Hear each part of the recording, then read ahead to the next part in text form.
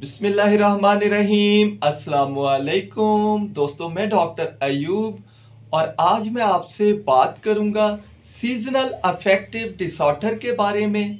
मैं आपको बताऊँगा सीजनल अफेक्टिव डिसऑर्डर के सिम्टम्स क्या होते हैं सीजनल अफेक्टिव डिसऑर्डर के काजेस क्या होते हैं, और अगर किसी को सीजनल अफेक्टिव डिसऑर्डर हो तो उसके लिए कौन कौन सी होम्योपैथिक मेडिसिन बहुत ही कारगर साबित होती हैं, जिनसे वो सीजनल अफेक्टिव डिसऑर्डर से छुटकारा हासिल कर सकता है, निजात हासिल कर सकता है। लेकिन ये सब जानने से पहले मेरी आप लोगों से रिक्वेस्ट है, अगर आप मेरे चैनल पर नए हैं तो काइंडली मेरे चैनल को सब्सक्राइब कर लीजिए।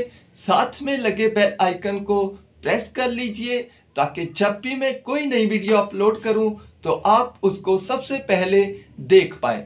तो चलिए, अब हम बात कर लेते हैं सीजनल अफेक्टिव डिसऑर्डर की। और सबसे पहले हम ये जानते हैं कि सीजनल अफेक्टिव डिसऑर्डर क्या होता है। दोस्तों सीजनल अफेक्टिव डिसऑर्डर डिप्रेशन का एक टाइप है।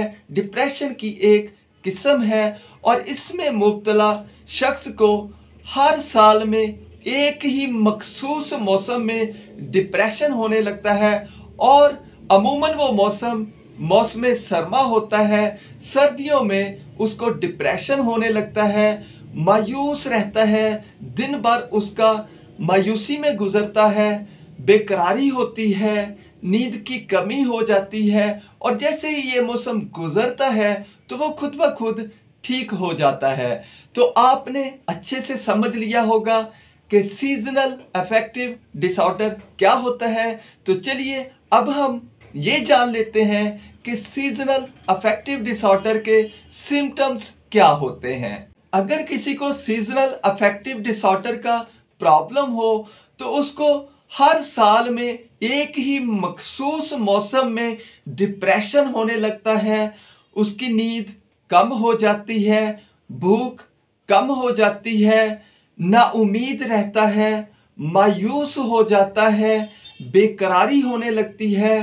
रोज़मर्रा के कामों को करने में बहुत ज़्यादा दुश्वारी महसूस होती है। और उन कामों में जिनमें उसको बहुत ज़्यादा इंटरेस्ट होता है, उन कामों में उसको ज़रा भी इंटरेस्ट बाकी नहीं रहता और वो चाहता है कि अपनी ज़िंदगी को ख़त्म कर ले। तो ये सब सिम्टम्स होते हैं सीजनल अफेक्टिव डिसऑर्डर के। तो अब हम जान लेते हैं कि सीजनल अफेक्ट डिसऑर्डर होने के काजेज क्या होते हैं। तो सीजनल अफेक्टिव डिसऑर्डर होने का सबसे बड़ा काज होता है मौसम। और चूँकि ये मौसम सरमा में होता है तो मौसम सरमा में धूप की कमी की वजह से हमारे दिमाग में पाया जाने वाला केमिकल जो कि एक दिमागी केमिकल होता है, जिसको हम सिरोटोनिन का नाम देते हैं, और ये न्यूरो होता है। इसमें कमी आ जाती है, धूप में कमी की वजह से धूप कम होने की वजह से इसमें कमी आ जाती है, जो कि डिप्रेशन का बायस बनता है। तो ये सबसे बड़ी वजह होती है सीजनल अफेक्टिव डिसऑर्डर की। लेकिन मैं आपको ये बताता चलूँ कि ये एक फैक्टर है, लेकिन exact causes seasonal affective disorder के अभी तक अननाउन है। मेडिकल साइंस इनके बारे में बिल्कुल नहीं जान पाई। बस ये फैक्टर है जो मैंने आपको बताया है।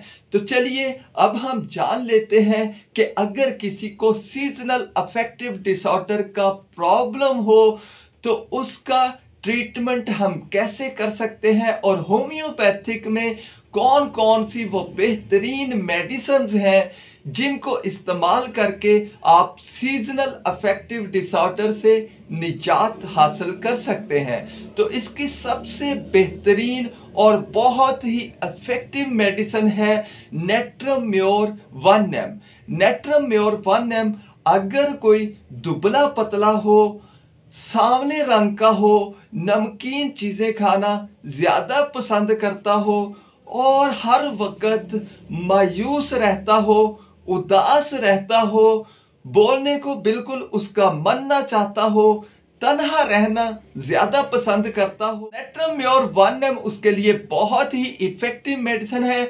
ये दो कतरे डायरेक्टली टंग पे दें और इसको आपने हर दस दिन बाद रिपीट करना है। कुछ ही देर के इस्तेमाल से आपका सीजनल अफेक्टिव डिसऑर्डर का प्रॉब्लम इनशाला हमेशा के लिए ठीक हो जाएगा। तो अब हम चलते हैं इसकी नेक्स्ट मेडिसिन की तरफ़। तो वो है इग्नेशिया 200 अगर किसी को सीजनल अफेक्टिव डिसऑर्डर का प्रॉब्लम हो, उसको भूख कम लगती हो और वो ज़्यादा रोता हो इसका ये सिम्टम याद रखिए कि वो बहुत ज़्यादा रोता हो या उसको किसी से मोहब्बत हो और वो उसको ना मिल ये बहुत ही इफ़ेक्टिव मेडिसन है।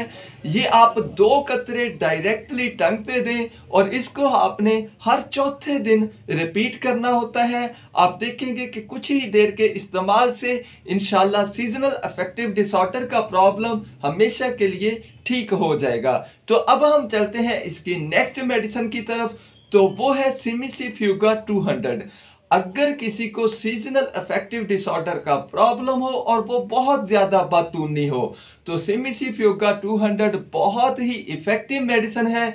ये आप दो कतरे सुबह, दो शाम दिन में दो बार यूज़ करवाएँ। आप देखेंगे कुछ ही देर के इस्तेमाल से इनशाला सीजनल अफेक्टिव डिसऑर्डर का प्रॉब्लम हमेशा के लिए ठीक हो जाएगा।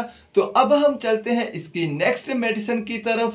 तो वो है kali phos thirty kali phos thirty आप विदाउट एनी सिम्टम यानी बगैर किसी भी सिम्टम के, बगैर किसी भी अलामत के यूज़ करवा सकते हैं। ये सीजनल अफेक्टिव डिसऑर्डर के लिए बहुत ही इफ़ेक्टिव मेडिसिन है। ये आप सुबह, दोपहर, शाम, दिन में तीन बार यूज़ करवाइए। इसके इस्तेमाल से इनशाला एसिडी का प्रॉब्लम सीजनल इफ़ेक्टिव डिसऑर्डर का प्रॉब्लम हमेशा के लिए ठीक हो जाएगा। तो दोस्तों, कैसी लगी ये वीडियो? अगर अच्छी लगी हो तो इसे लाइक शेयर और मेरे चैनल को सब्सक्राइब करना बिल्कुल मत भूलिएगा। और अगर आप किसी और डिज़ीज़ के बारे में जानना चाहते हैं तो वीडियो में कमेंट करके मुझसे पूछ सकते हैं। और अगर आप अपना ऑनलाइन ट्रीटमेंट चाहते हैं तो ऊपर दिए गए मेरे व्हाट्सएप नंबर पे रबता कर सकते हैं। आज के लिए इतना ही। इंशाल्लाह मुलाकात होगी नेक्स्ट वीडियो में। तब तक के लिए अल्लाह हाफिज़।